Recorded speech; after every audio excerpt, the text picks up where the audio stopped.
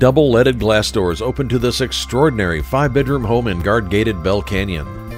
There are so many details in this custom one story home, including cathedral ceilings, a double sided fireplace, stainless steel appliances, a primary bedroom with a spa like bathroom, a separate studio, and a secluded pool yard. See it today with Katherine Stark.